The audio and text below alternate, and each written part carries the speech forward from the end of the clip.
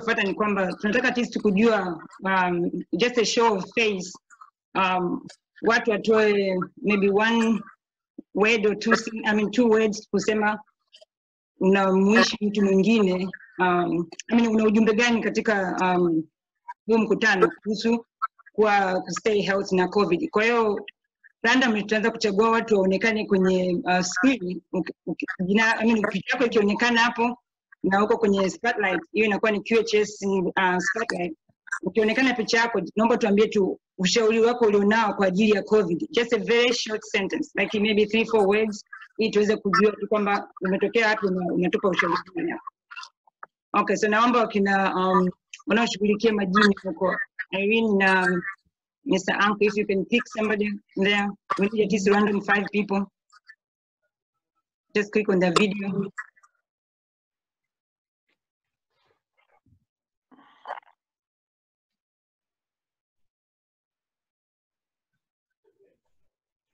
Umemute simu yako na nyingine.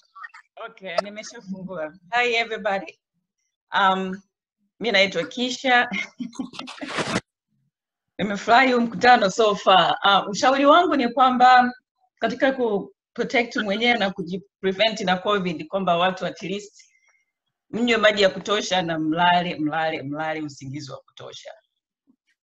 Okay, asante. I hope that helps. Yes, it will. Thank you. Next.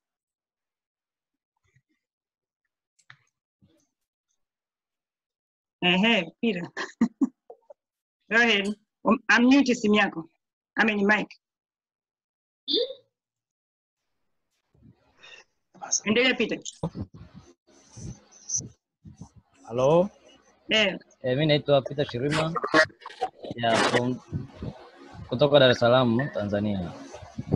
Eh, mi nafikiri nimefurahi sana kwa somo ambalo limetolewa hapa na daktari famasia. Kwa kweli tumepata vitu ambavyo ni vipya, kwa sababu sisi tunatumia tu dawa kwa azithromycin na nini, lakini hatujawahi kupata hizo kuu kwamba zinafanyaje zinafanyaje.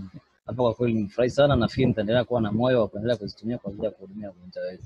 Kwa hiyo tunashauri tuendelee kujilinda, kunawa mkono mara kwa mara, tukushika uso mara kwa mara. Eh, nafikiri pia kama alivyosema hapo Kisha, mlale usingizi mnono. okay, asante. Asante. Mwingine? Asante.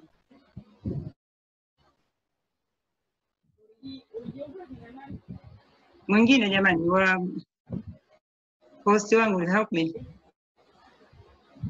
Ehe. Mr. Libe. Uh, jamani habari, mimi naitwa Liberatus Mwang'ombe, nipo Washington DC, nafanya kazi John Hopkins. Uh, kwa kifupi nimefurahi ku, kuwa sehemu ya mjadala ambao ni elimu knowledge transfer. Uh, maneno yangu tu ni mawili. Sisi kama wauguzi na watu ambao tupo katika idara ya afya tujitahidi sana kuielimisha jamii, kwa sababu elimu ni moja ya swala ambalo uh, WHO ameliainisha kwamba jamii ikishaelimika basi tunaweza tukafungua lockdown. Kwa hiyo kama uh, wahudumu kama ni watu wa kwenye afya tujitahidi sana kutoa elimu nyumbani. Okay, Asante. asante sana. Uh, one more.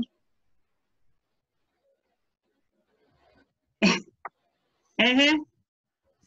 Elizabeth, un unmute your mic. unmute your mic.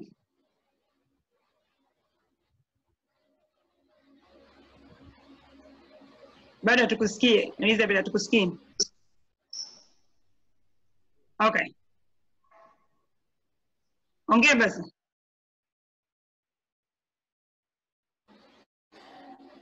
Bado hatukusikii. Hatukusikii. ya asikiki Hatukusikii Elizabeth. Hello. Mbona tu picha yako lakini usikiki? Dr. Eliot Hatukusikii. Dr. Eliot Nakusikia, nakusikia Alex. Unasema? ya nilichokuwa nasema kwamba kwa sababu kuna kazi nyingine nitaka kwenda kuifanya sasa sijui kama kuna issue yoyote unless otherwise ni ningeomba niwakimbie kidogo Na tunashukuru kwa sababu Mr. Um, Charles Soroka atakuwepo na maybe atatusaidia hapo kidogo. Kama unaweza kuingiza baadaye kidogo itakuwa ni sawa, lakini najua ulikuwa una tayari una nani um, inabidi kuwa na sehemu inabidi uende. Tunashukuru. Basi ni washukuru Okay. sana na kwa kweli nimefurahia sana conversation za leo na mawasilisho ya wataalamu wauguzi wenzetu na mfamasia Okay, asante. na, na, na wauguzi wenzangu kutoka Tanzania ambao wamo kwenye kikao hiki. Basi nafikiri kuna jambo ambalo tunatakiwa tulifanyie kazi, Sawa. na kuna Mr. Kija Malale, basi wakisaidiana na Soroka, kama kutakuwa kuna any issues ambayo nitakuwa imejitokeza nikiwa sipo, niombe wa take note then tuta communicate. Ya, kuna maswali ambayo na yatakuwepo itabidi waelezea. Asante. haya, asante sana. Okay, asante. Basi kwa tumalizie na Mr. Rehabua from France. Karibu sana. Okay. Ya, habari. Uh, mi kwa majina naitwa Royabura France. Ni nanisikia? Hello? Okay. Ya, mimi mimi ni mkunga, niko Dar es Salaam. Uh, ningependa tu kushukuru kwa kwanza kwa invitation ambayo umeweza kuitoa na uh, japo wengine tumeipata late, lakini uh, tunaweza kuwa niseme na wapongeza kwa jitihada ambazo zinafanyika, elimu ambayo tunaipata pia tuweze kuendelea kushare mara nyingi na wengine ili tu, lakini pia tuweze kupata hizi taarifa mapema, especially hizi link tunaweza tuka tukaisambaza pia kwa wenzetu zaidi na kuweza ku- kushiriki kwenye meeting kama hii. Na sasa hivi angalau umeshaingia, tutaendelea kuwasiliana vizuri kabisa. Tutakuwa tunakumbushana na tunaangalia ni um, topic gani tunakuja kuzungumzia sasa hivi, kwa hiyo tutajua tutafanya hivyo ya. Asante sana. Yeah. Okay, bila kuchelewesha sasa namkaribisha um, Mr. Um, Liberatus Mwango- Mwang'ombe, sorry, ni respiratory na tunaomba utupe basi um, na kwa kwako. Uh, nashukuru Dr. Gibbon. Uh, kama alivyosema awali, mimi naitwa Liberatus Mwang'ombe, nafanya kazi John Hopkins uh, katika kitengo cha respiratory therapies. Uh, hii field nafikiri nyumbani haipo. Uh, nilishawahi kwenda Tanzania na Dr. moja anaitwa Kingslow. Uh, tulipita Muhimbili na tulipita Aga Khan. Kwa, kwa, kwa bahati mbaya sana field ya respiratory therapy inaonekana haipo. Sasa nimeombwa niongelee mambo mawili changamoto na nini tumejifunza kupitia coronavirus Ah, kabla sijaongelea changamoto na tulichojifunza kwa kifupi tu huu ugonjwa wa coronavirus ni ugonjwa wa respiratory yani ugonjwa ya, wa mfumo wa upumuaji mapafu airway uh, maswala ya kuchukua oxygen kuclear carbon dioxide na vitu kama hivyo. Na coronavirus inaathiri sana mfumo wote wa upumuaji na mara kwa mara wagonjwa wanaokuja hospitalini uh, wanakuwa wanahitaji a, a little bit of um, uh, oxygen support. Sasa kama sisi ambao tuko uh, mstari wa mbele ni nini tuna uh, challenge ambazo tunazipata. Kwa mfano uh, sasa hivi ukiwa ed emergency department unavyo um, mm, mhudumia mgonjwa wa coronavirus kuna vitu vinafanyika ambavyo tulikuwa tuvifanyi mwanzoni.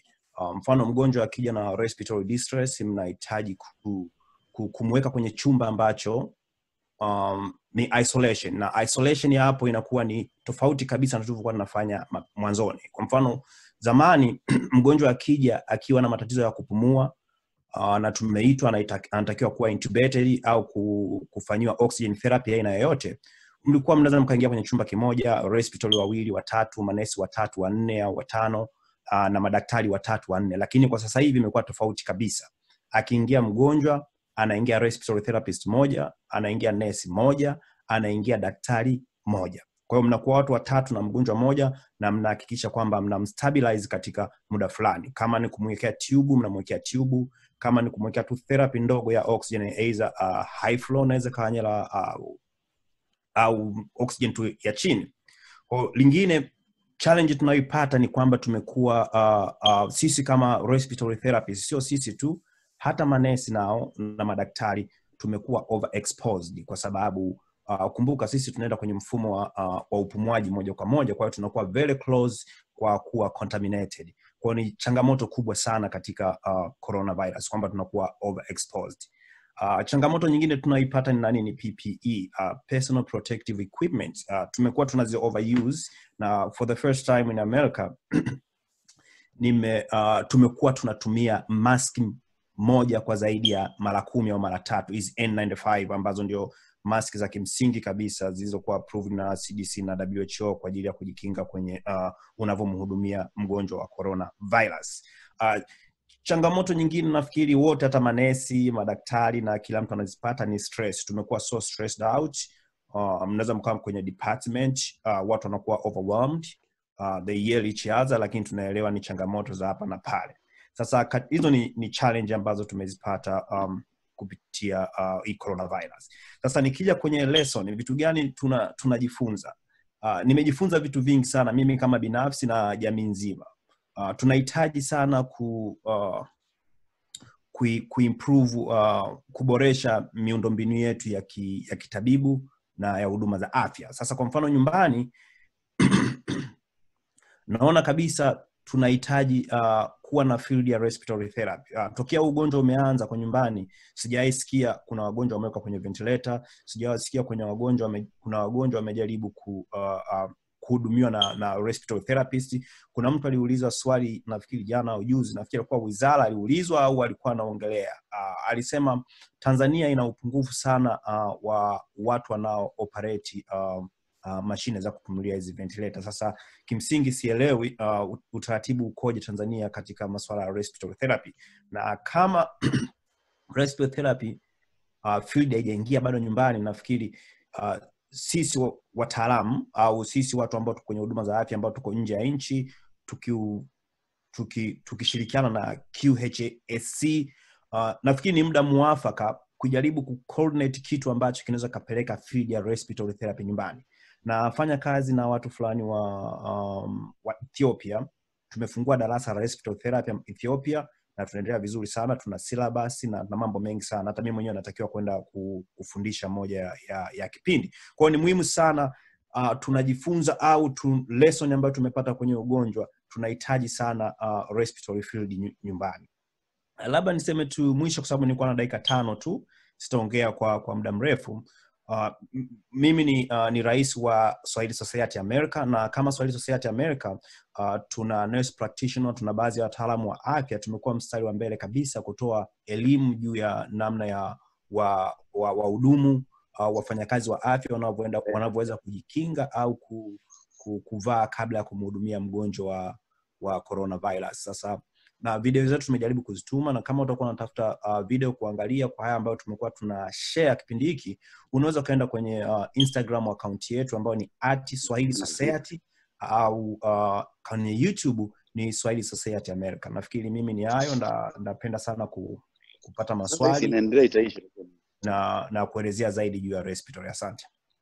Ah, kabla hujaondoka hapo, nilikuwa nataka kuuliza tu kwamba kama unaweza kuwapa two three points nurses ambao wanashughulikia wagonjwa wenye um, covid sasa hivi. Respiratory wise, wao wakiwa wanaenda kumwona mgonjwa wajiandae na kitu gani, wakiwa wanamshughulikia mgonjwa, what are the things that they need to watch for, na wakimaliza kumwona mgonjwa, what do they need to prepare mpaka the next time wanakuja kumwona mgonjwa? Respiratory wise, things ambao anabidi mtu awe anafikiria wakati anaenda kumshughulikia mgonjwa. Na najua kabisa kwamba respiratory inahitajika, I mean, respiratory therapy inahitajika kwa wagonjwa ambao wanakuwa na matatizo ya nani ya kwenye lungs. Uh, ni swali zuri Dr. Gabon. Uh, uh, cha muhimu uh, manesi inabidi waelewe. Kuna mzungumzaji mmoja wa Canada nafikiri aliongea kwamba kipindi hiki cha COVID-19 kwa wagonjwa hatutumii kabisa aer- aerosol nebulizer, yani ile uh, dawa kwa ajili ya kufungua mapafu, kwa sababu wagonjwa wengi wa, wa, wa COVID-19 wanakuwa na matatizo na mapafu, wanahitaji mapafu yao kufunguliwa. Kwa hiyo lazima watumie uh, inhaler, in, inhaler wasitumie uh, nebulizer au kitu chochote ambacho kinaweza kika uh, uh, hewa kwa sababu uh, uh, wadudu wanakuwa kama droplet na wanakuwa kwenye hewa. Kwa hiyo wakitumia kitu chochote ambacho kina aerosolize hewa, ina maana wanakuwa extra exposed. Uh, na kwa kifupi yani kama sisi kwenye hospitali yetu hatutakiwi kabisa kufanya uh, CPR kwa mgonjwa wa coronavirus ambayo kwenye stage fulani. Kwa hiyo ni muhimu sana manesi wa, wa, wa, waoshe mikono kabla wajaingia kwenye uh, kwenye chumba cha mgonjwa na waoshe mikono wanavyotoka kwenye chumba cha mgonjwa, na naamini kabisa waki waki waki, waki, wakivaa hizi personal protective equipment vizuri watakuwa salama um, Okay, nashukuru sana Mr. Mangota. Na kama unaweza uka endelea kusubiri kwa sababu kufika wakati wa maswali najua kuna watu wameuliza kabisa specific maswali kuhusu respiratory pamoja sasa hizi hapo ulipomalizia nilikuwa na um, namwangalia um, Mr. Davis Mwagama alikuwa ni, ni pharmacist kwa Tanzania.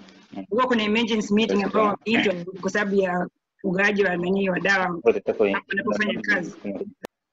Kwa hiyo imeingilia na ratiba yetu, lakini akija baadaye nitamruhusu aje aingie at atupe mawazo ambavyo Tanzania wanazofanya saa hizi protocols wanazofuatilia kwa ugawaji wa dawa na, na jinsi ambavyo um, yani upata- upat, upatikanaji wa dawa na kama watu ambao wanaenda hospitalini watumie kitu gani na watu wale wanaokaa nyumbani ambao hawezi kwenda hospitalini watumie kitu gani. Kwa hiyo akipatikana tu mtamruhusu um, aingie na atupe mawazo yake hapo.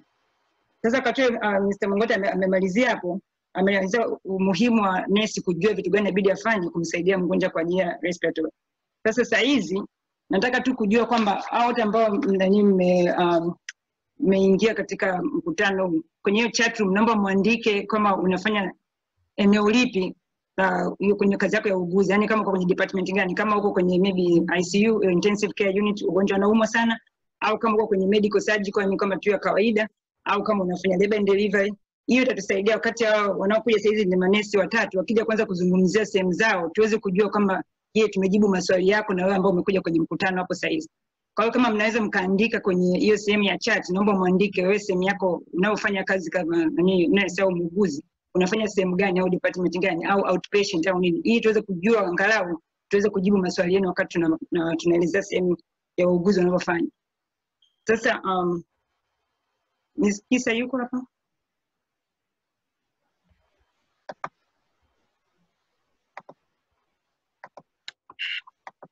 Kisa?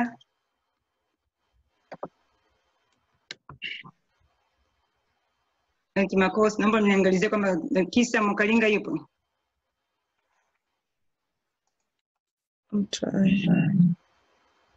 Kama um, Miss Bupe upo? Bupe, Amon Kiel.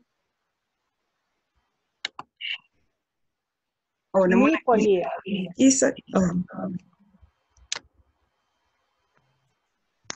Kisa, Kisa, she will be joining via the phone, so she won't be on the screen.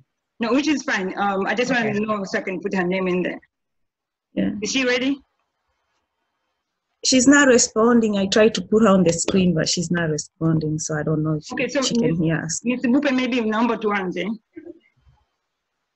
Haya, habari za leo jamani. Nzuri. Naweza tuka- Sawa, mimi na No. mnanisikia eh? Nakusikia. Tunakusikia. Ah, okay, asante. Kwa hiyo mimi naitwa Bupe Amon Kielu, niko huku Australia, nina uzoefu wa kuwa muuguzi miaka ishirini na saba na bado sijachoka lakini alafu pia nimekuwa huko Australia kwa muda wa miaka kumi na tano. Kwa hiyo nimefanya katika sehemu mbalimbali ambazo zimenisaidia kupata walau mwanga. Kwa hiyo meseji kubwa ya leo mimi katika kushiriki uh, katika hii conference siku ya leo ni kwamba nesi ujiamini, kwa sababu wewe ni daraja, kwa sababu tuko katikati ya daktari na watu wengine wote wa afya na mgonjwa wetu, na sisi ndo tumekaa kama goalkeeper. Daktari anapoandika dawa anakwambia okay, utampa mgonjwa hizi dawa. Kama amekosea na wewe huna uelewa, ujue kabisa wewe ndo utakayemmalizia mgonjwa. Na kama atakuja ni mtu wa respiratory therapy akakwambia okay, huyu mgonjwa mpe nebulizer, labda amepitiwa tu, kama tulivyosikia kwamba nebulizer huwezi ukampa mgonjwa ambaye yuko katika hii COVID-19 kwa sababu uta spread infection kwa maeneo yenyewe aliyopo, na we mwenyewe utakuwa na wale wengine walio wa ziada, na pia kwa hali yake aliyonayo ya mapafu haitafaa. Kwa hiyo cha kwanza tujiamini na tutambue kwamba sisi ni watu muhimu sana. Kitu cha kufanya sasa, nitajiaminije mimi kama muuguzi? Kwa uzoefu wangu nimeona kwamba kwanza ni lazima tuwe tayari kwenda katika sehemu zetu za kazi. Kama unaona kwamba psychologically hauko tayari, unaogopa au unaona elimu ulionayo kufanya kazi katika haya mazingira ya COVID-19, basi usi usi, usi, usi, usijitume ukajipushi zaidi kwenda kufanya kitu ambacho kita kitaleta matatizo.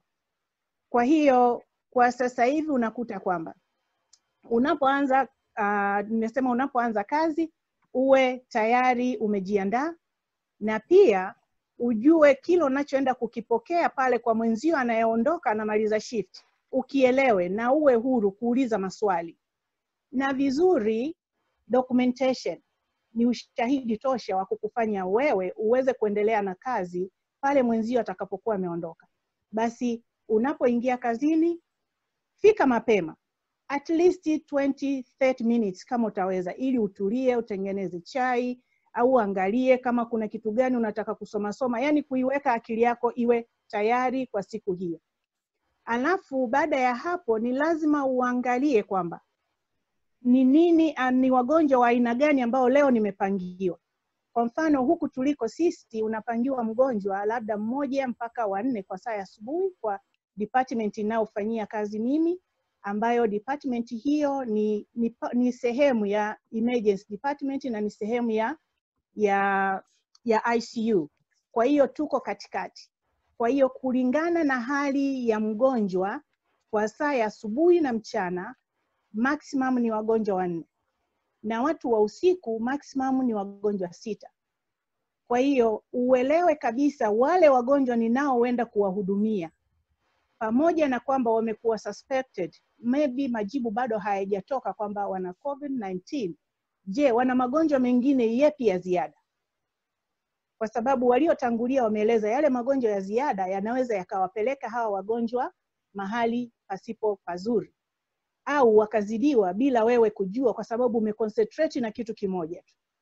Kwa hiyo be familiar na wagonjwa ambao unaenda kuwahudumia, uelewe shida zao kubwa zaidi ni nini kwa wakati huo.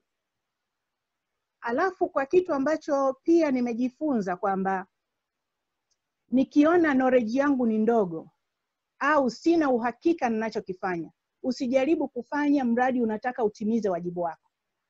Uliza, kwa sababu mimi nina theory moja kwamba muuguzi nimesema ni kama daraja kati ya mgonjwa amesimama katikati, anampisha daktari, anamhudumia mgonjwa, alafu nyingine namchukua, nasema muuguzi sio kama fundi cherehani.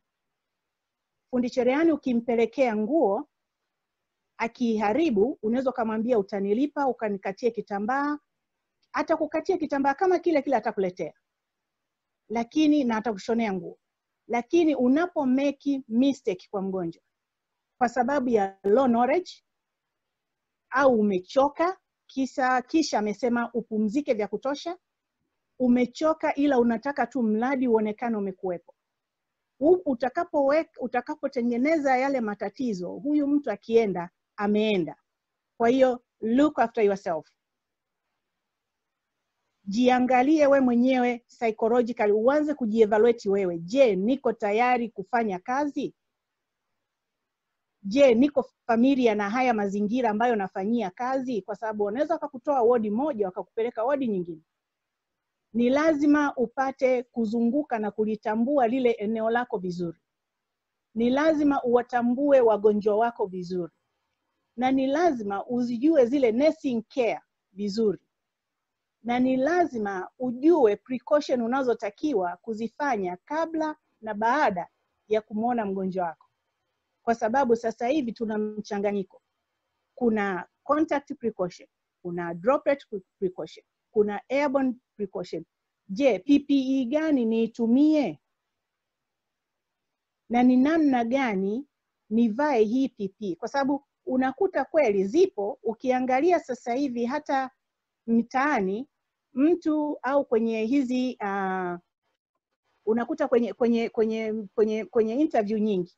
Mtu anaongea anashika maski yake alafu anarudi tena anajikuna anarudi anavuta ile maski anaiweka chini ya mdomo. Hizo zote ni contamination.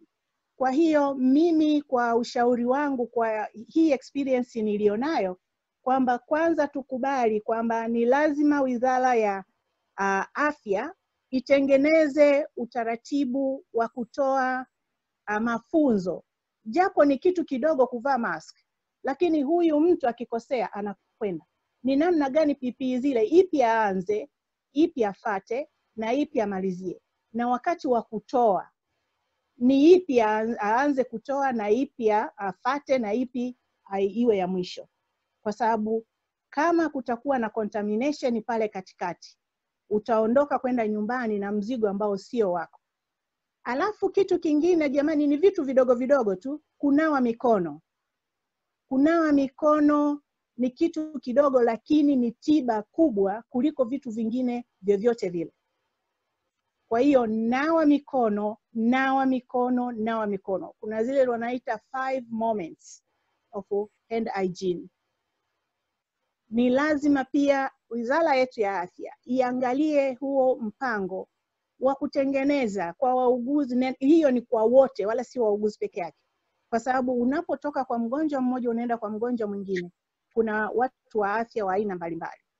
Kwa hiyo ni vitu vidogo, kwamba kwanza elimu yako wewe mwenyewe kabla hujagusa mgonjwa, kabla hujaanza kushughulika na mazingira, kabla hujaanza kuvaa PPE yako, je, unaelewa unachokifanya? Kwa hiyo zaidi ya hapo utakuta kwamba badala ya kutengeneza mazingira mazuri, unaweza ukajiumiza wewe au ukaumiza mgonjwa au ukaumiza wenzio.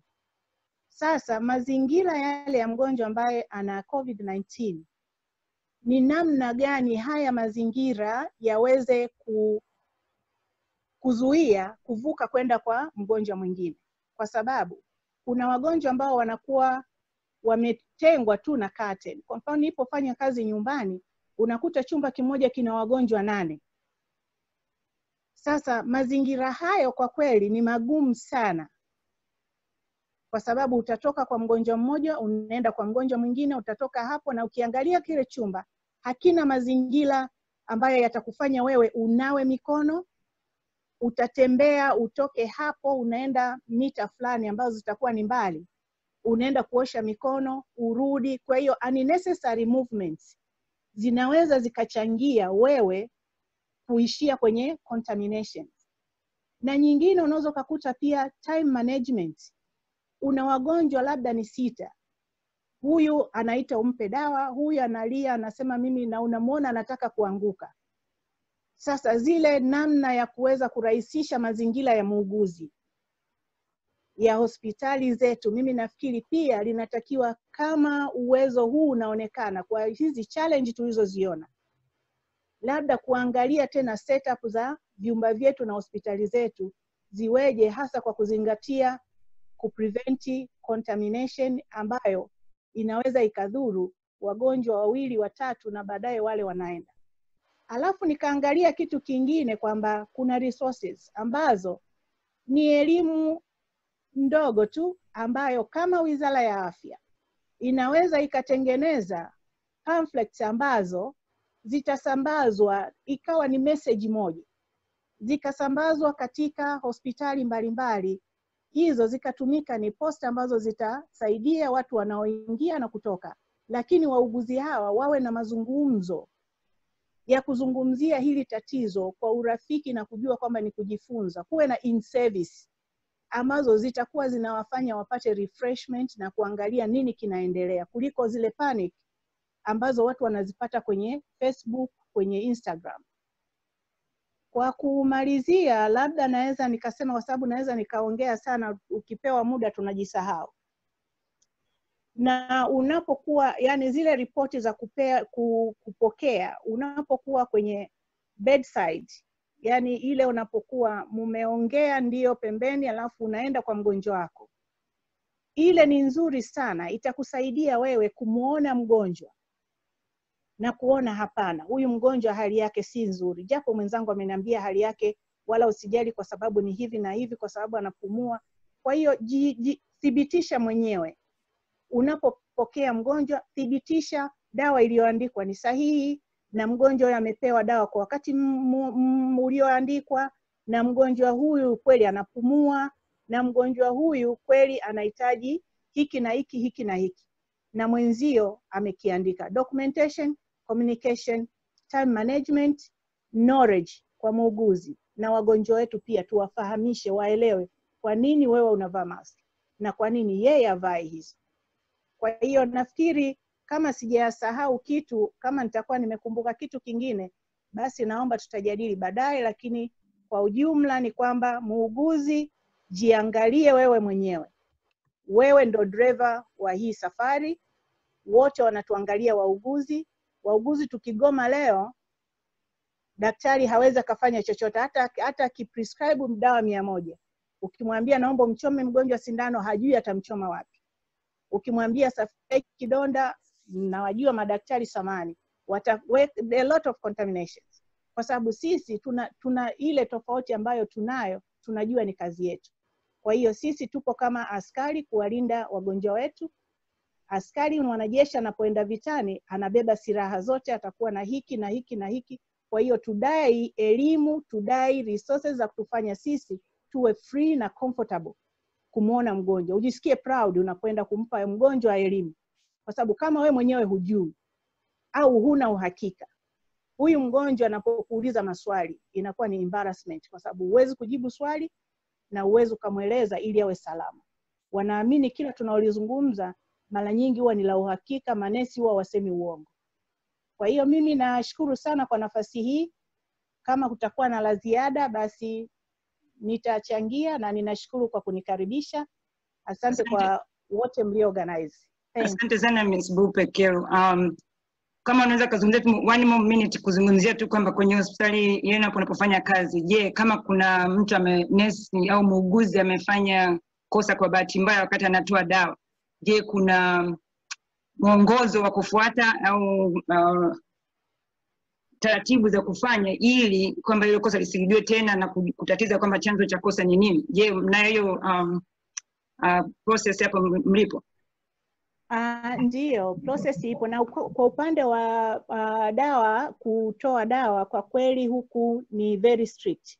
Kama alivyosema wazungumzaji wengine kwamba sindano zote ni lazima manesi wawili wacheki pamoja na kusaini pamoja na drips. Na ikiwa kama ni panado au dawa yote ya kidonge umetoa kimakosa. Ile dawa umeigundua au wamegundua wengine hakuna kuficha na hakuna kusameheana inabidi kuna system ya riskman. Kwa hiyo hiyo ni, ni tu mojawapo ambayo tunaitumia kupeana taarifa kwamba jamani, kuna kosa hili limetokea, na mle kuna stage. Limetokeaje, limetokea wapi, na mgonjwa huyu yukoje, na ulipogundua kosa ulifanya nini, na huyo mgonjwa hali yake, je, iko kwenye kategori gani? Kuna kategori mbalimbali mpaka tano, ile ambayo kama mtu amekufa au namna gani. Alafu baada ya hapo ndo hapo sasa quality au watu wa quality education na nini wanaenda kukaa chini na kupitia ile kesi, wana review hata kama ni Panadol, hata kama ni aspirin, hata kama ni multivitamin, wataiangalia na kuona kwa nini kosa hili lilitokea, then inatolewa nafasi ya wewe kujieleza tena. Kama itahitaji kufanya tena uh, education, watafanya in service, wataipitisha kwamba jamani, hii dawa tunaomba ifanyiwe mafundisho kwa wauguzi wote. Kwa hiyo learning is a continuous process. Hakuna mtu ambaye yuko kosa, na dawa ni kosa kubwa.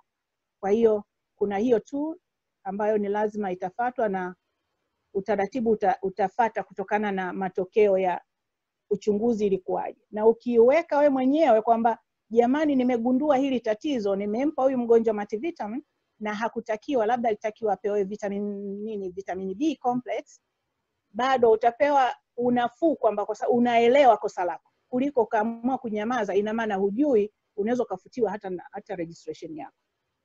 Okay, asante sana kwa ufafanuzi wako. Najua utapata maswali wakati wa tukianza kuwa na discussion hapo baadaye kidogo. Sasa kwa hiyo sasa hivi Okay. namkaribisha Viola hapa and na, na nafikiri labda kuna wengine pia ni wanalifikiria hili swali. Uh, nimemsikia uh, Mr. Libe hapo alikuwa anaongelea kuhusu CPR. Um, labda tunaomba tufafanulie tu kidogo kwa nini unasema wagonjwa ambao ni wa COVID-19 hawapati CPR. Asante. Uh, Viola, na- na- natumai nasikika. ya na- nakusikia, asante. ya kuna protocol John Hopkins kwa wagonjwa wa COVID-19 ambao wamekuja wapo critical uh, CPR kwa sababu ya flow ya wagonjwa wamekuwa wengi uh, ni, is, ni, ni kama nani uh, ethical, ethical decision. Uh, nafikiri wameangalia um, side effect na chance ya kumwokoa mgonjwa wa coronavirus ambaye kwenye, kwenye level ya critical. Uh, na kubwa kuliko lote nafikiri wanajaribu kutu protect uh, watu wa huduma uh, wahudumu wa afya kutokuwa contaminated kwa sababu unavyofanya CPR mnakuwa ni very close to Uh, mna bagi kwa hiyo mnakuwa well exposed na ndio maana nafikiri protocol za John Hopkins uh, wamesema no kwa I mean, no CPR kwa covid patients ambao wapo kwenye critical level. Okay, asante sana Mr. Mongogo. Yeah, karibu na, na, na wageni jamani Oh, na unaweza nikakuuliza swali kabla hujaondoka. Kuna mtu aliuliza kuhusu mambo ya kujifukiza, sijui kama unaweza ukasaidia uka, uka kujibu hilo, kama kufukiza kuna kunasaidia since um, your Ah, okay, yeah, hilo ni swali zuri. Ndajibu tu kwa knowledge ambayo nime nimeipata maeneo tofauti. Ni hivi, um, asilimia sitini na saba ya wagonjwa wa coronavirus hawaoneshi dalili yoyote, na hao ambao hawaoneshi dalili yoyote wanaweza wakaambukiza. hii kundi ni hatari sana. Alafu kuna kama asilimia ishirini hivi uh, ambalo linaonyesha dalili ndogo sana, sio sio dalili kubwa, na kuna asilimia kama tano ambayo ndio critical. Sasa hii ni, ni severe. Hii asilimia tano kwenda juu ndio hao ambao wanaenda wanaenda hapo kuwa intubated kuwekewa tube uh, ambao katika asilimia mia moja watu wanaowekewa tube ni asilimia ishirini tu wanapona. Sasa hili swala la kujifukizia naamini kabisa linatumika kwenye hao watu asilimia ishirini ambao wanaonyesha uh, dalili ndogo sana. Uh, sasa kinachotokea mtu anaweza akafikiria akijifukizia anapona, lakini kiukweli coronavirus haina tiba, haina kinga, haina dawa yoyote. Well, Ni, ni, ni immunity ya mtu mwenyewe mwenye ugonjwa anapona mwenyewe. Binafsi mimi siamini kujifukizia kama kuna ponya Inawezekana kunapunguza dalili za ugonjwa kwa asilimia fulani, lakini sio kwamba inaponya ina, inaponya coronavirus.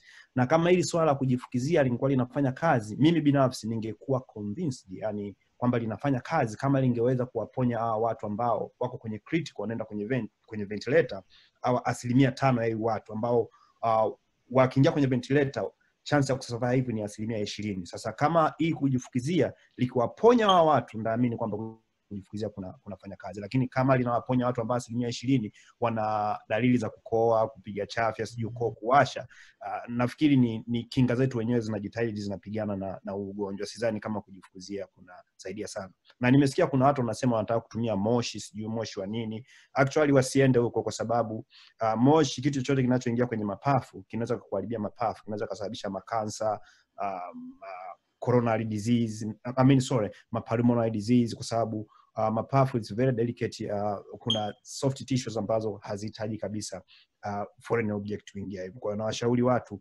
wasi, wasiingie kwenye kitu chochote ambacho kina moshi, yani sijui huo mvuke unasaidia vipi. Mi binafsi naamini kwamba uh, boresha kinga zako za mwili uh, nawa mikono mara kwa mara uh, usiende nje kama una sababu ya kwenda nje, kaa nyumbani na epuka kabisa, kama una ulazima kwenda nje, ukifika nje epuka mialiko na vaa barakoa. Kwa kujibu swali lako uh, mimi uh, kwa sababu haijawa approved na WHO na CDC kufukiziwa bado si, siamini mimi binafsi.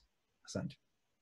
Okay, asante sana Mr. Mongote. Tunashukuru kwa muda wako, najua kazi muhimu, kwa hiyo asante. Asante sana. Ah. Okay, huyu Mr. Charles Soloka ambaye ni mkurugenzi wa nani Tana na ambaye amekuwa aki um, amekuwa tume- tumekuwa tukifanya naye kazi kwa karibu sana kwa hii QHSC ili tuweze kutoa elimu mafunzo huko nani Tanzania na ameweza uh, kuniunganisha na watu wengi sana ambao ndo mnaona wanakuja kwenye nani uh, kuja kutoa hoja zao au uh, uzoefu wao na kwa hiyo namshukuru sana Mr. Um, Soroka. So hofu tutaendelea kuwasiliana na kushirikiana ili tuweze kusaidiana wauguzi popote pale tulipo. Um, najua Mr. Soroka yupo. Hello. Yeah, tutapata na muda mwingine wa kuongea. Okay, asante. Um, Peter, okay, karibu sana Peter. Oh. Peter, Ah, naam, naam, niko tayari. okay. Ah, naam, na habari hapo. Salama kabisa. Tunashukuru sana kwa tunashukuru kwanza kwa wote ambao wametoa presentation nzuri, na kwa kweli nakiri tumejifunza mambo mengi sana, na hasa mimi ambaye ninahudumia wagonjwa wa COVID-19 direct. Eh, hapa Dar es Salaam nafikiri kuna kuna hospitali moja imetengwa kwa ajili ya kufanya kazi hiyo, na mimi ni mmoja wao ambao ni mhudumu wa wagonjwa ambao ni confirmed cases wanaokuja katika sehemu hii. Kwa hiyo kwa sisi kwa kweli tunajitahidi na tumejitoa mwanga kwa ajili ya kupambana na tatizo hili kwa kuwasaidia wagonjwa ambao wameshapata hii shida, na kikubwa sana kwa sasa hivi kwa situation ambayo tulionayo, tunapambana sana na wale wagonjwa ambao wanapata symptoms mbalimbali kama sana sana kwenye difficulty in breathing ambao wanahitaji kupata oxygen therapy na wanaoenda kwenye ventilations. Japokuwa ventilation bado hatujapata sana, lakini tunaishia sana kwa wale ambao wanahitaji oxygen therapy to the maximum level au kidogo wote wote, na wengi sana ambao wanakuwa na comorbidity nyingine kama hizo diabetic, nafikiri tumeona wengi sana ambao wana hypertension pia tumeona wengi sana na wengine ambao ukiwapima wana associate na malaria pia, kwa hiyo wanakuwa na wako kwenye critical conditions. Kwa hiyo watu kama hao ndo tunawafanyia admission katika hospitali yetu na tuna tunapambana nao. Wale watu ambao hawana symptoms kwa sasa, nafikiri tuna sehemu nyingine ambayo tumechagua tutakuwa tunapeleka, na wengine pia wanaweza kufanya self isolation. Uh, kwa sisi nafikiri kama daktari kama mfamasia alivyoelezea mwanzoni, dawa nyingi ambazo tunatumia ni hizo za kutibu symptoms na antibiotic kubwa tunatumia azithromycin na amoxiclav. Si- Siyasikia ametaja sana amoxiclav, lakini nitabidi labda kama atarudi baadaye anielezee kama ishai kupata kitu kama hiyo, kwa sababu sisi tunatumia amoxiclav na tunaishi na tunahisi kwamba inafanya kazi vizuri. Labda kama yeye haja kwenye presentation yake yote siyasikia ana- anazungumzia kitu kama hicho, lakini azithromycin ambayo ame- ame- ameisema tunaitumia sana na sisi tunawapa antimalarials ambazo ni za kawaida tu artesunate na alu. Kwa hiyo hiyo hydroxychloro- hydro- hydro- hydroxychloroquine sisi bado nafikiri hatujaitumia sana, labda tutakavyoita kwenye clinical meeting tutashauri kama tunaweza kufanya hivyo. Uh, kwa kweli kwa kwa sisi kwa situation ambayo tulionayo kumhudumia mgonjwa tunajitahidi kujilinda kadiri iwezekanavyo, lakini kitu kikubwa sana watu tunapata shida kwa sasa hivi ni PPE ambayo nafikiri imeshakuwa janga kila mahali, tunahangaika kuzitafuta, lakini inakuwa ni changamoto sana kupatikana. Kwa mfano kwa sisi capacity ya sehemu ambayo tupo ni wagonjwa kama thelathini na wanne ni wanne ni ICU na ambao wanabaki kumi na sita ni moderate mild to moderate cases ambazo zinahitaji tu oksijeni ya kawaida. Kwa hiyo ukikuta kwa siku moja inatakiwa angalau utumie PPE zisizopungua ishirini na kuendelea. Sasa unakuta siku nzima na PPE labda tano, ambao sasa unakuta unamhudumia mgonjwa kwa, kwa kujilimit sana. Kwa mfano mwongozo unasema unavyomhudumia mgonjwa, unavyovaa PPE kuingia ndani kumhudumia mgonjwa, usitumie more than one hour kwa ajili ya kufanya hiyo kazi. Yaani lazima uwe na specific goal ambayo imekupeleka kule ndani unaifanya. Ikifika one hour, hata kama haijafika one hour, uki- ukiona kabisa umeshamaliza, utasikia you have to go out. Lakini kwa, kwa sisi situation inakuwa tofauti kwa sababu ya limited resources ambazo tunazo. Kwa hiyo ukiingia ndani na PPE yako, kama uko comfortable, unafanya kazi kadiri uwezavyo mpaka hapo utakapojisikia kwamba umechoka au kazi zimeisha kabisa, ambazo labda ukijua umeshafika sehemu ambayo mwingine anaweza kaja kuingia baadaye sana, labda saa nne usiku au au kesho asubuhi, labda ilikuwa ni jioni. Kwa hiyo unakuta riski riski ya, ku, ya exposure inaongezeka sana, lakini hatuna jinsi. Sometimes inabidi tuitoe mwanga tu kwa ajili ya kuhudumia wagonjwa, lakini sio nzuri sana. Tunapambana, lakini sometimes inabidi tu tufikie hapo lakini tuna nafikiri leo tumepambana pia wizarani huko tumeomba watuletee PPE, lakini imeonyesha bado ni changamoto kwamba hazipatikani sana, na ukiangalia hata alivyokuwa anasema respiratory hapo huyo nani Nanze na Suma Ngomba si nani, Mwangombe. ishu kubwa ya ishu ambayo tunapata shida hasa ni kuwahudumia wagonjwa wa ICU ambao wanahitaji intubation na nini, kwa sababu sisi sasa hivi tuna hatuna changamoto kubwa tulionayo, hatuna maski za kumhudumia mgonjwa kama huyo, kwa sababu maski kama hizo we have to use N95. Sasa ukiangalia N95 sasa hivi sisi kwa kwetu ishakuwa changamoto, tunatumia medical mask ambazo mtu anaweza kutaa amevaa mbili kwa ajili ya kuingia na kufanya intubation. Tunaomba Mungu mambo kama haya. Face shield zipo? Okay. Yeah, zipo zipo tunatumia pia, lakini bado sio sio sana kama ukiwa na N95 unakuwa Okay. comfortable. Mhm. yeah.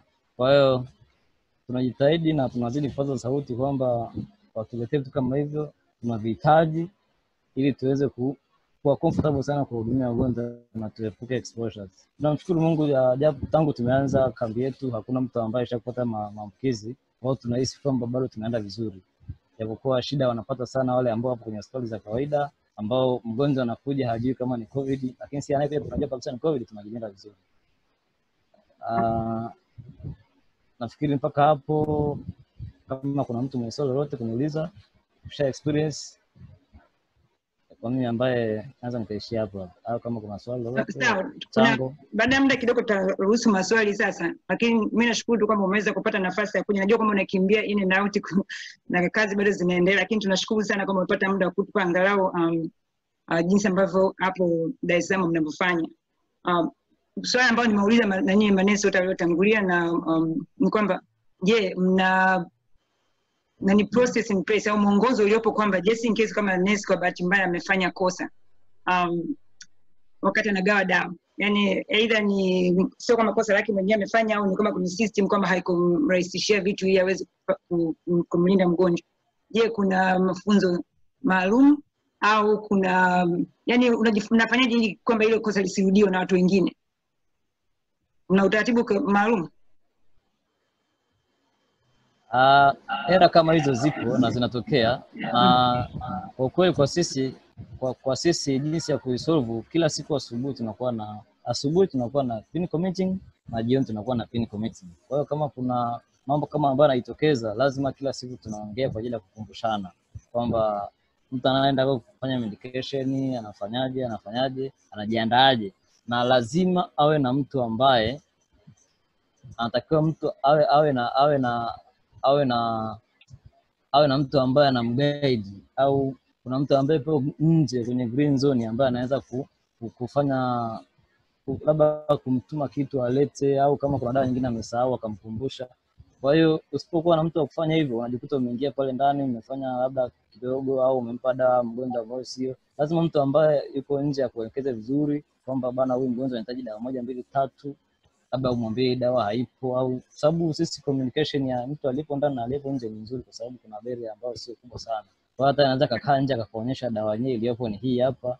Kwa hiyo kila siku kwa clinical meeting tunakumbushana na tunaelimishana. Hamna protocol ambayo ni official sana kwa tunayoitumia. Yes. Okay.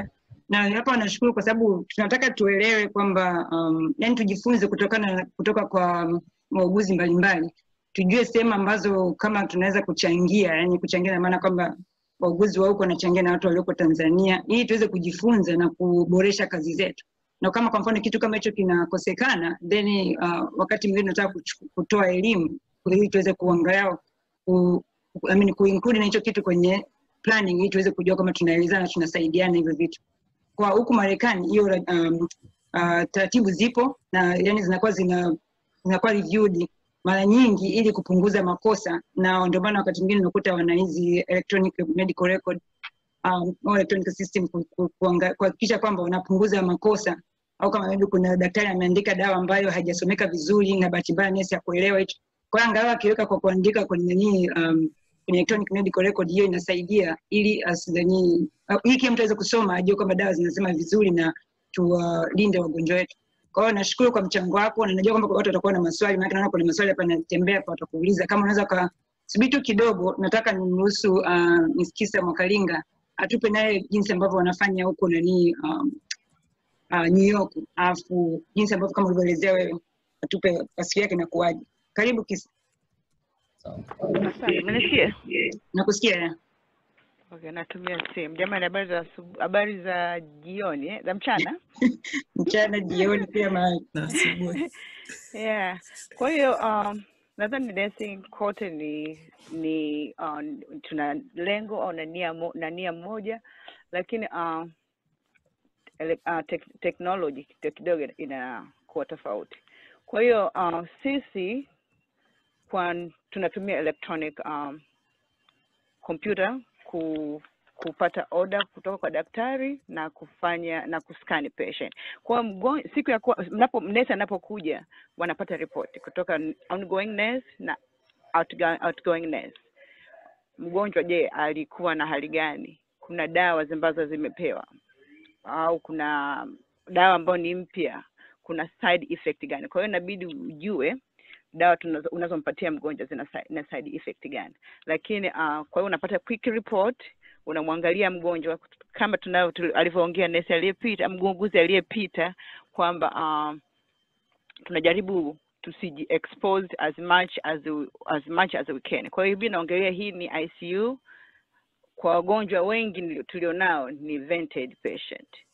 Unaangalia report unaangalia vent setting unaangalia EKG kwa sababu kuna dawa zingine hizi uh, antimalaria zina prolong QT kwa hiyo inabidi uwe unajua kama hizi dawa unaweza kumletea mgonjwa matatizo anaweza kwenda kwenye cardiac arrest. Kwa hiyo lazima uangalie vitu hivyo.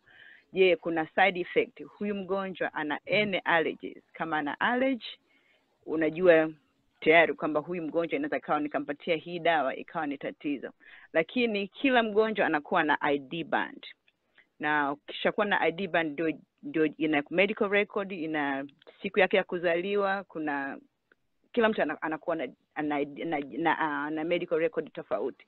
Kwa hiyo unapokwenda ndani kwa sababu ni covid patient uh, tunakuwa tuna skana na nje kuna kuna hiyo kompyuta ambayo ina kuna dawa humo ndani. Kwa hiyo unaingia ndani unahakikisha umecover the, the scanner unamskani mgonjwa and then kuna mwenzio sasa anakupatia dawa.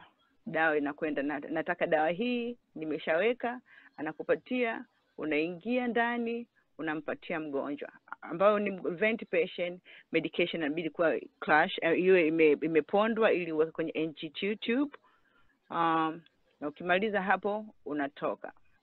Lakini kama tunavyojua hatuna dawa za covid. Covid ni comfort care kwa hiyo kama mgonjwa ana nani ana homa tunampatia dawa ya homa. Kama kuna antibiotics then tunampatia antibiotics zilizokuwa zimeandikwa na daktari. Lakini ni muhimu sana pia kucheki um, oda kabla hujaingia kwa kwa mgonjwa. Kwa sababu kuna zingine daktari anaweza kusema hapana hii dawa pengine imemletea matatizo mgonjwa tuna tunatoa hii dawa. Au lab na um, vipimo vya damu au, au kidney function haiko sawa au mgando wa damu heparin anticoagulation huyu inahitaji apate dozi kubwa ndogo. Kwa hiyo ndivyo hivyo tunavyokwenda. Lakini kila dawa tuliyonayo inakwenda kwenye kutumia uh, iv pump. Kwa hiyo ni lazima kufuatilia iv pump tuna policy na protocols unabidi ufuatilie. Uh, alafu tunatumia sana sedation kwa sababu wagonjwa wengi ni wako kwenye ventilator. You don't want them I'm sorry utaki waanze ku kuamka inaweza kawa tatizo wanaweza wakajitoa zile tube ndani inakuwa ni kitu kingine kitu kingine. Uh, tunaangalia pia dawa kwa watu wajawazito kwa sababu sio wagonjwa tu wa covid kuna watu wana underlying disease. Kuna watu wajawazito kwa hiyo dawa zinazowapatia je ni safe kwa mama mjamzito uh, kama ina matatizo kwa sababu dawa inaweza kaenda ikamuafekti mtoto. Vile vile tu wa- waangalifu kwamba uh, sio kila mtu anayekuja ni covid. Kwa hiyo kunabidi kuwatenge na waangalie matatizo mengine. Wengine wanakuja na kisukari wengine wana hypertension. Kwa hiyo dawa zao hatuziachi tunaendelea nazo. Kwa lakini kwa kuwa makini kwamba dawa zisiingiliane. Farmers tunafanya nao kazi very closely kama hujui any side effect kwenye kompyuta unaweza ukaenda ukaenda kwenye micromedics unajua side effect ya, ya nanii ya dawa zozote. Pia pharmacy is just across the corner. Unawapigia watakueleweza. Kwa hiyo ni teamwork teamwork teamwork teamwork teamwork uh, ndio inafanya uh, tuweze kufanikiwa. Nadhani kwa hapo nitaishia hapo. Kama mna maswali niko na muda kidogo nitarudi tena kazini 9:30 na, na, naenda tena mahali ya ngoja kidogo kabla hujakimbia um, na swali moja kwamba na ambao nimeuliza manesi wote waliotangulia au wauguzi wote waliotangulia Ah, je kama mtu akifanya kosa najua kwamba kuna electronic medical record ambayo inasaidia kupunguza um, uwezekano wa kuwa na makosa. Uh, sasa je kama mtu kwa bahati mbaya amefanya kosa either ni la kwake au ni system wise ndio imemsababishia afanye kosa? Je mna mpango gani au mwongozo gani wa kumsaidia nesi ili kwamba siku nyingine asifanye hilo kosa tena kwa hiyo kuna vitu vingi vya kuangalia. Je huyu muuguzi amechoka? Kwa sababu saa nyingine kazi zetu tunakuwa tunafanya kazi muda mrefu. Ni uchovu uliosababisha hiyo medication error. Saa nyingine pia kuna system error. Kuna few percent ni system error inaweza ikatokea. Je ni system error? Na kama ni system error tunafanya nini? Uh, ku, ku, kurekebisha. Na au ni na kwa hiyo tunafanya root cause analysis tunaangalia yote haya vitu vyote tunaangalia ni kitu gani kimesaba- kimesababisha. Lakini je hicho hilo kosa limesababisha kifo? Au kama au, au pengine mgonjwa hakuwa amesababishwa am, am, am, au mgonjwa amekufa au pengine ni ni era ambayo kuna side effect ame, kuna kitu chochote kama kimetokea ambacho hakijamzuru mgonjwa. Kwa hiyo kuna department ya department tunafanya quality improvement. Quality, quality improvement ni lazima to, re, to report any error na reason kwa ku, na sababu ya kunania kushare na quality improvement tuna share na hospitali nzima. Kwa hiyo kila mwezi quarter, kila baada ya miezi mitatu kuna quarterly meeting tuna discuss kwamba hili tatizo limetokea kwa sababu abcd na tunasaidia kufanya njia ambazo tunaweza tukaimprove lisitokee. Kwa hiyo nesi inawezekana uh, au muuguzi anawezekana asija akawa punished la ha, hawezi kukuwa punished kwa sababu ya hiyo error lakini tunajifunza kutokana na yale makosa. Lakini kama ni huyo mtu anatokea mara mbili mara tatu and then they may uh, take another step. Lakini um, vitu, ni vitu kama hivyo. Lakini kuna risk management involved quality improvement everyone involved na documentation. Na tunabidi hata ukiwa umefanya makosa ni lazima uambie ndugu na familia kwamba okay imetokea tumempatia dawa hii na tunamwangalia ilikuwa ni error lakini lazima turipot. Okay, asante sana Kisa. Sasa najua kwa sababu um, swala kubwa ilikuwa ni kwa ajili ya mkutano huo ni kuangalia kwamba wauguzi wa- wengi wanakuwa athiriwa na huu ugonjwa na huu ugonjwa tumeshaona kabisa kwamba mtu wauguzi wanavyokuwa wanafanya hizi kazi zinakuwa zinaleta um, uchovu wa aina yake, wanakuwa wako stressed out, kwa hiyo ina, inaingilia na afya ya mwili, na kwa hiyo hapo ilikuwa ni vizuri kabisa kumalizia na um, mtu wetu wa mwisho wa ku, wa kushare hoja zake Dr. Ali. Dr. Ali uko kwenye line? Nipo, nipo. Um, um, unanisikia? Yeah, nakusikia nakusikia. Kwa hiyo nataka kumkaribisha Dr. Ali aje atuelezee vizuri, kwa sababu yeye ni psychiatrist na anashughulikia nani um, uh, anasaidia healthcare ambao especially wakati huu wa nani wa pandemic au kama ukiwa tatizo kama watu wa covid wengine wanapoteza maisha yao na jinsi uh, just in case kama manesi wanani wana wanapata hiyo diagnosis yani inaongeza stress katika maisha yao. Kwa hiyo Dr. Ali, naomba tu, utupe usia wako.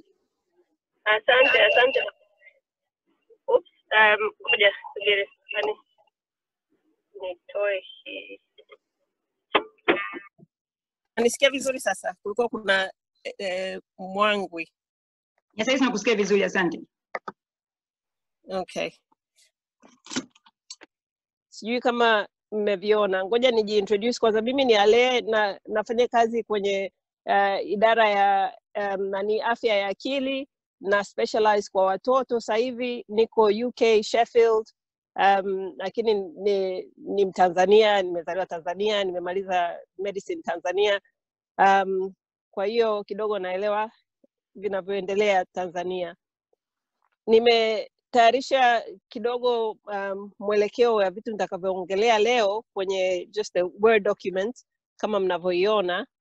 Um, cha kwanza kabisa ni kufikiria jinsi gani vitu vimebadilika mpaka sasa. Kama kawaida, bila hii COVID, sasa hivi ingekuwa ni wakati wa Ramadhani, tungekuwa tunafanya vitu kama kawaida, lakini mabadiliko ghafla yametokea, na haya mabadiliko yalivyotokea, sisi upande wa nani kwa watoto tuna tunaangalia vitabu kama Who Moved My Cheese ambayo ni kidogo kama kama utani, lakini ukikisoma au ukisikiliza um, audio book yake utaelewa jinsi gani mabadiliko yakitokea, mtu unaweza ukajikuta umekwama, haujui cha kufanya au cha kuendelea. Lakini kama umejitayarisha vema au unajua vitu vya kuchukulia tahadhari na kujitayarisha vema, mabadiliko yakitokea, wewe huko shapu, unavaa viatu vyako, unaanza kukimbi, kukimbia kufanya kazi. Kwa hiyo ni vitabu kama hivi vinakuelewesha jinsi gani wewe ni mtu aina gani um, mabadiliko yakitokea ghafla. Kwa hiyo wakati huu wa COVID um, cha msingi ni kujipa nguvu, kujipa nguvu na kazini kama wauguzi wa, wa afya um, nurses and doctors kwa ujumla, lakini hii pia ina inachukulia wale wanaosafisha, wanaofanya usafi, wanaofanya upishi, kila mtu anayefanya kazi hospitalini. Ukiwa kazini unakumbuka vitu vya kawaida tu, lakini kitu cha muhimu sana ambacho mtu unaweza hata usifahamu unafanya ni kupeana maneno ya, ya, mo, ya kupeana moyo na kusaidianana. Kwa hiyo ukiona mwenzako kidogo leo yuko mkimya zaidi kuliko kawaida, unaenda tu unampa neno moja au mawili ya kumpa moyo. Na kuna hii kitu kingine kinaitwa Johari window ambayo ina inakuelewesha zaidi jinsi gani wewe wewe ni mtu wa aina gani na unafanyaje kazi. Kwa hiyo inakusaidia wewe mwenyewe kujifahamu vizuri, nguvu zako na pale ulipo na um, weakness, mapungufu, pale ulipo na mapungufu. Kwa hiyo na uwe tayari ku, ku, kupata feedback kutoka kwa wenzako. Feedback yani mtu akija akakwambia ah, pale unajua ungefanya kitu namna hii ingekusaidia wewe zaidi na ingekusaidia timu na vitu kama hivyo. feedback kama hizo ambazo saa ingine zinaweza zikafeel kama vile mtu anaku, anaku, anaku, anakupa critic lakini un, unajifunza kuichukua na kuikaribisha ili uweze ku, kuitafakari na kufikiria jinsi gani next time hapo mbele utakavyofanya vitu tofauti kidogo ili ujisaidia wewe na timu yako na kila na wagonjwa wako na kila mtu. Kwa hiyo hizo ndo zinaitwa feedback na reflections kwenye kwenye mambo ya wakati kama huu. Nimeweka link nimeweka attachment kwenye group kwenye group yetu ya inayoongelea pia hiyo johari window na vitu kama hivi ambavyo unakusaidia wewe mwenyewe pia kujifahamu wewe ni mtu wa aina gani. Um, na kama kawaida tunavyosema uchukue mapumziko yako mara kwa mara. Usi, usiseme ah, namalizie kitu kidogo ah, namalizia kitu kidogo. Hapana. Acha kila kitu nenda kachukue mapumziko yako kama unavyotakiwa kuchukua. Na ule vizuri kama kawaida usiache kula usi, usi miss lunch au sijui snack time usi miss ule kama kawaida. Ukimhudumia mgonjwa pia kuna link imeweka kwenye group ya guidance uh, BPS psychological needs za healthcare staff ambayo sisi ndo tunapelekewa tuna, tuna, tunasoma na kufuatilia. Um, hiyo pia labda ukisoma kipengele cha tano jinsi ya ku provide psychological care to patients and families na pia how to normalize psychological responses. Kwa sababu sasa hivi kama nilivyoandika hapo mwanzo kabisa ni sawa kuto kujisikia sawa kiakili. Um, kwa hiyo uwe unafahamu kuwa hata mwenzako ukimwona kiakili yuko hayuko sawa sana leo usimshangae na usi, usimweke kando na usimwache umtaarifu na yeye mwenyewe ajitambue kama bado hajajitambua. Ni sawa kuto kujisikia sawa sana sana wakati huu. Kwa hiyo kunormalize psychological responses ndo hivyo mtu ukianza ku, ku, kutetemeka au ku, kukosa pumzi au ku, vitu kama hivyo vikianza kuku, kukuzidia mtu wako wa pembeni yako au mwenzako awe tayari kukutaarifu au mwenyewe uwe tayari kujua ni nini utafanya next kujisaidia. Um, kwa wagonjwa walio odini mnafahamu kwa sababu mmejifunika na mask na kofia na vitu kama hivyo hauonekani. Um, na mmeona watu wengi wanavyoandika majina kwenye gaun zao ili mtu afahamu lakini mgonjwa sio rahisi asome yale majina yaliyoandikwa. Kwa hiyo kila saa ukimhudumia mgonjwa kama inawezekana jitambulishe kwa jina la kwanza mwambie wewe kama ni mhudumu wa ni mhudumu wa aina gani uh, jaribu kupata mazungumzo naye au communication njia yoyote. Hata kama hana hawe, hawezi kuongea mguse tu mkono au mguse tu popote mwilini asikie ile touch response. Hiyo pia ni therapy kwa mgonjwa. Anapata moyo kwamba kuna binadamu mwingine yuko pembeni yake anam, anamjalia um, hali uh, na pia um, kusoma nisijisahau. Um, e, mgonjwa pia kama kawaida unamkumbusha kwamba familia yake ipo ili na yeye azidi kupigana na na huo ugonjwa asi, asi, asikate tamaa. Um, kwa hiyo hiyo ni kazini. Mnaweza mkaongeza vitu vingi sana lakini hivyo ndo vipengele navyoweza kusema. Nyumbani fanya mazoezi kula vizuri pumzika vya kutosha oga kirefu kama unapenda hiyo ni water therapy usijishangae unapenda kukaa bafuni muda mrefu hiyo ni therapy pia. Jipendezeshe jipende usijisahau. Vitu vingine kwa hiyo baada ya hapo kuna vitu vingine njia ya distraction kujiliwaza au kujisahaulisha maake sasa hivi kila kitu COVID, kila kitu COVID. ukienda kulia kushoto mpaka hata watoto wadogo wanaongelea yani inachosha kwa hiyo kazini kama pale unachukua break yako jaribu ku, ku, ku, kutafuta njia mbalimbali ya kujipumzisha au kuji, kujiliwaza kuna breathing te- technique tofauti sitaongelea hata moja sasa hivi kwa sababu na vitu vingine na, nataka ku, ku just outline um, lakini uki google search au ukitumia search engine yote unaweza kutafuta ambayo inakufaa ambayo unaweza kutumia. Breathing techniques inaku, inakutuliza. Na mindfulness ni neno lingine ambalo tunatumia sana sisi huku ambalo labda kuna wengine wenu mmewahi kulisikia the here and now. Yani inakusaidia ina, ina kukurudisha kwenye wakati wa sasa. Make mawazo yakianza kusafiri yanakupeleka mbali yanakupeleka kesho kesho kutwa sijui mwezi ujao sijui mwaka ujao. Aa, mindfulness inakurudisha unarudi hapa hapa ulipo. Inakusaidia kutuliza akili kutuliza moyo na kuku, kukuonyesha reality ya sasa hivi na positive things ambazo viko mbele yako. Kwa hiyo hiyo ni kitu kingine unaweza kuangalia kwenye search engines. Uh, distraction techniques au kujiliwaza nyumbani unaweza kufikiria vitu vingi tu. Cheza na watoto cheka na familia jiliwaze na picha za zamani. Picha za zamani nzuri sana yani kuangalia kupiti, kupitisha macho sana sana na watoto au video clips za zamani. Angalia movie michezo mbalimbali ya nje ya nyumba na ndani. Kwa hiyo mnatafuta njia ambayo mnaweza kufanya na familia. Sio sio na na majirani na marafiki na familia tu. Maanake social distancing lazima ikae pale pale. Um, njia ya tatu ni kutafuta support utafute msaada.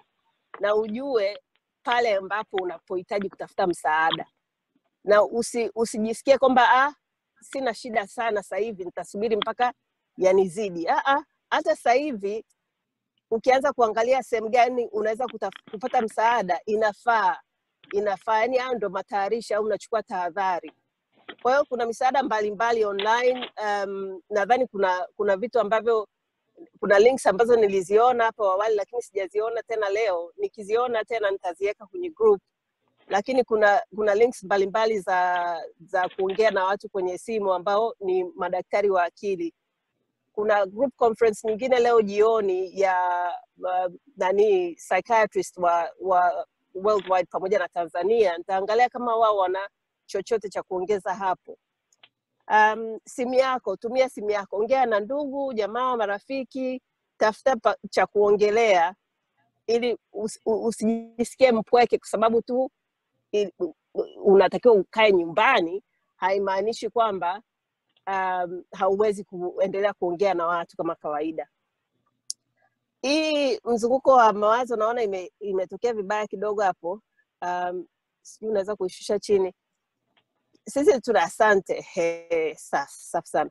Sisi tuna, tunaita cycle um, ambayo ina inakue kila mtu anapitia hii kila wakati. Kila wakati. Kitu kikitokea tu mawazo yanakuanza. Unaanza kukifikiria kukitafakari kuki analyze. Ni kawaida. Hii mzunguko wa mawazo ni kawaida. Kuna link kuna link nyingine nimeweka pia kwenye group juu ya mzunguko wa mawazo ambayo iko kwa kiingereza lakini ukisoma inaelezea zaidi eh, sana sana wakati huu wa covid jinsi gani vitu vya mawazo yanaweza kwenda. Na inaelezea pia kila kipengele cha huu mzunguko jinsi gani um, vitu vinaweza kwenda mrama na jinsi gani wewe unaweza kuvirudisha vikae sawa kwa hiyo hii mzunguko ina, inaonyesha tu kwamba mawazo yanaleta hisia unaanza kujisikia unaanza kujisikia vibaya unaanza kujisikia mdhoofu unaanza kujisikia umesikitika au una furaha au fikiria hisia yoyote ile unaweza kupata mawazo yanaweza kuleta hiyo. Hisia ikianza dalili za mwili zinafuata kwa hiyo kama uko excited dalili ya mwili ni moyo unaweza kwenda resi au ukiwa una, una taharuki moyo unaweza kwenda resi moyo ukienda resi tabia yako unafanya nini? Watu wengine wanakimbia wengine wana freeze wengine wanajua cha kufanya exactly wanafanya iko iko hiyo tabia unayofanya inarudi inakurudisha kwenye mawazo. Unaanza tena kufikiria nimefanya sawa au nimekosea? Ningefanya nini zaidi? Inakurudisha ndo hiyo mzunguko unaendelea unaendelea unaendelea na kama uki, ukijiweka kwenye mzunguko mbaya inakuwa vigumu kujitoa. Kwa hiyo ukiangalia hiyo link niliweka kwenye group itasaidia kukuelewesha jinsi gani ya ku ya kujiweka sawa kiakili ili kuji, kujilinda akili yako isiende isiende kwenye upande mbaya au kwenye upande wa giza ambao itakuwa rahisi mgumu sana kujitoa ukishaingia. Lakini sio kwamba hautaweza kujitoa utaweza kujitoa. Lakini ni vigumu tu ukishaingia huko ni vigumu zaidi kujitoa. Um, kwa hiyo sina mengi zaidi ya kuongeza zaidi ya hapo. Um, labda kama kuna watu wataongelea vitu vingine baadaye lakini yeah ndo hicho tu nilikuwa nataka kusema leo. Asante sana Dr. Ali kwa sababu nanimona hizo umeongeza tayari um, uh, inf- information kwenye group hilo na hizo zitaendelea kuwa shared na watu ambao wamekuja kwenye mkutano na kama hawako kwenye group then itabidi tuwatumie tofauti. Andika tu email ambayo ulijibia wakati una, unajiunga ili tuweze kujibu na kuwarudishia hapo.